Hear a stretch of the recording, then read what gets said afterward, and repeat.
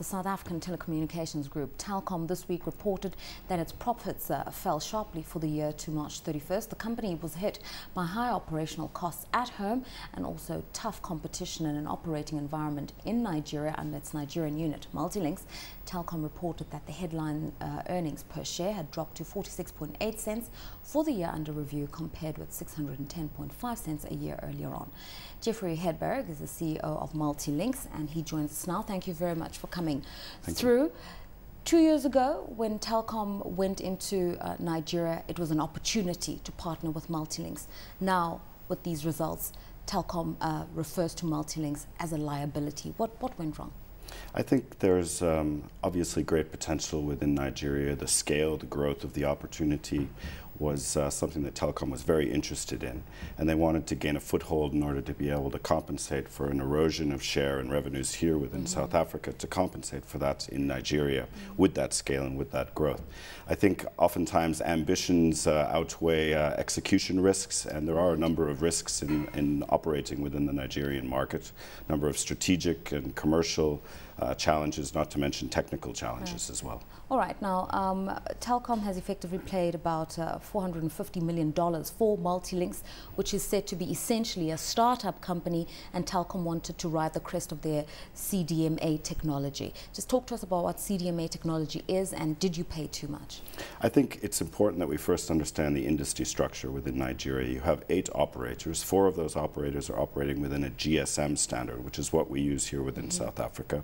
The other four are operating within CDMA. However, GSM controls 90% of the total mobile communications market. Mm -hmm. CDMA has only 10%. So you have four competing for 10% and the other four controlling right. the right. 90%.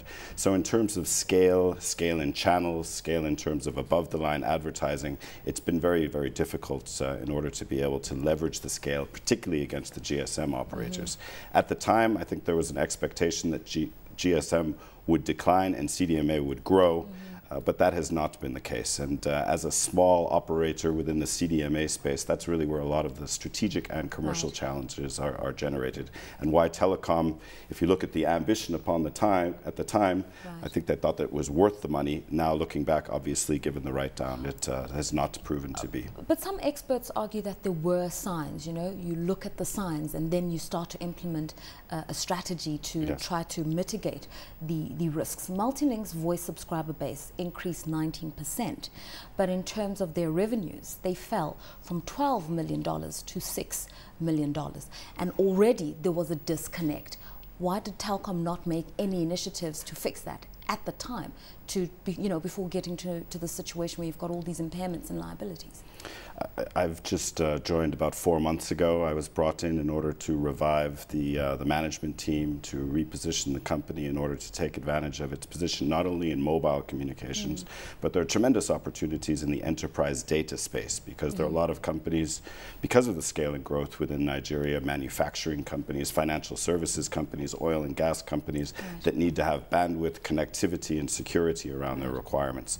So as we look at the CDMA voice business, which you're absolutely right, is the majority of the business right now. We're looking at how do we stabilize that business, how do we grow profitably, mm -hmm. and how do we focus more on what Telkom is good at, and that is providing enterprise data services to the corporates.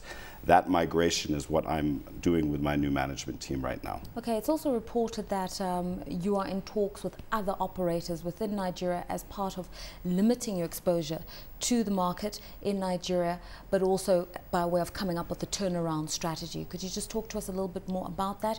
And if you can, give us a better sense of tangibly the steps that are going to be taken to fix this problem? What we need to do as part of the fix the present, because there are two components, fix the present and fix the future yeah. in your question. On the fix the present, we need to, as I noted, stabilize the business, invest far more in a better segmentation and profitable revenue growth within that segmentation, fix some of the network and IT uh, areas, improve the processes, improve the efficiencies, as well as start to renegotiate some a very large fixed cost base within the company. So those are the things that we're doing as part of just breathing life and spirits back into the organization. In terms of looking at ways to mitigate our risk and leverage local partners, Telkom owns 100% of Multilink, so it would be important that we look at how we can leverage leverage local partners and other partners, both to improve the performance of the company as well as to mitigate the risks. So tangibly, we're fixing the basics now mm -hmm. because anything we do, whether it's a future partnership or a future opportunity to merge with another entity, we need to have a solid base to merge right. into. And at the same time, we're looking at different options in order to make sure that locally right. and uh, from a financial perspective that we're mit mitigating Is the risk. Is disposing of the asset an option at this stage? I, I, wouldn't rule anything out, but I think you don't buy high and, uh, and, and sell low. So our team right now is quite confident. There are tremendous opportunities within Nigeria. It's all about execution. All right, just in terms of relevance for Telkom SA, and this is a, a question much broader and bigger than multi-links. I mean, some experts are saying Telkom is finding itself in a state of flux at the moment from being the monopoly fixed line operator moving into an environment when mobile is beginning to dominate and data services are beginning to dominate. It needs to be made relevant in South Africa and then competitive on the African continent. What's the way forward?